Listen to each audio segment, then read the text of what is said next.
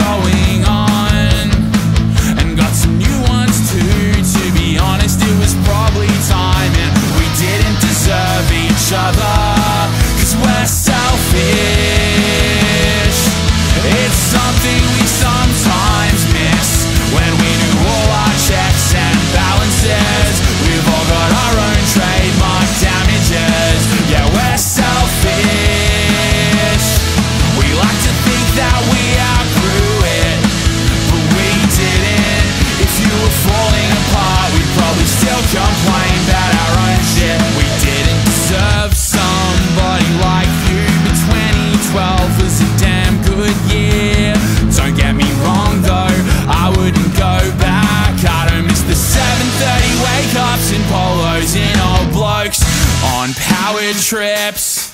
Talking down and doing all kinds of perverted shit. But wait, catch buses and talk about crushes. Now we catch up a few times a year.